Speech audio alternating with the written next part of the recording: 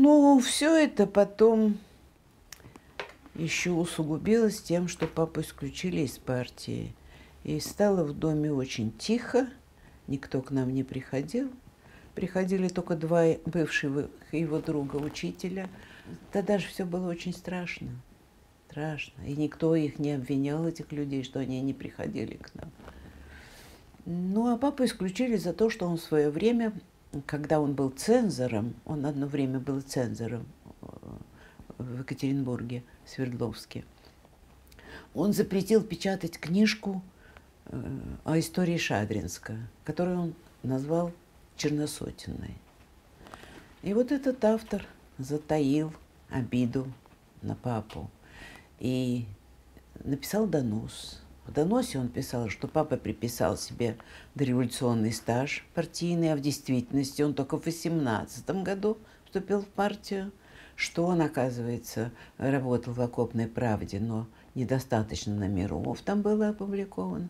Ну, короче говоря, разбирали, решили, что виноват папа, исключили его из партии. Это был 1937 год. Папа меня позвал к себе в комнату и сказал, ты, пожалуйста, пойди в школу и скажи, что твой отец исключен из партии. Тебе не доверят никакую комсомольскую работу, старостой класса ты не будешь, это естественно. Но ты не огорчайся. Я пошла, сказала нашей классной руководительнице. Но никто не обратил внимания. Я осталась и комсомольским вожаком, и, и старостой класса. Таких, как папа, было много.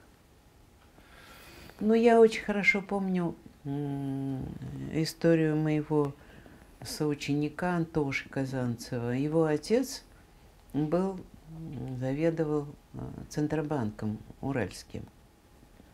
И Антошу единственного, кого подвозили на машине. Но далеко останавливались, чтобы никто не видел, что он приехал на машине. Тем не менее, вот его расстреляли. Антошиного отца расстреляли. И семья осталась в очень плачевном положении, потому что мама никогда не работала, а Антошка был еще маленький.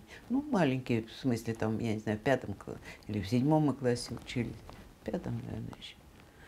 Мы продолжали учиться и продолжали дружить. И никто вообще не, не говорил, ах, ты враг народа. Нет, нет, нет, этого не было. Как дружили, так и остались дружить. Все. Э, ну, скорее опасались взрослые, а ребята-то нет. После того, как его исключили из партии, у нас приходили с обыском. Я помню, приходили люди в черных кожаных куртках, переворачивали дом. Ну, видимо, ничего не нашли. Искали пистолет. А пистолет мама уже давно утопила в колодце. Мамочка предусмотрительная была. Ну, хотели, значит, ему еще предъявить еще более серьезное обвинение, что он хранит оружие. Вот. Ну и потом его вызвал следователь. Следователь э, назначил часы, когда ему нужно прийти. Мама собрала чемоданчик, там полотенце, мыло, тапочки, в общем, так, для лагерной жизни. И папа пошел.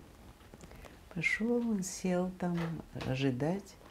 Ждал час, два, три. Потом встал и ушел.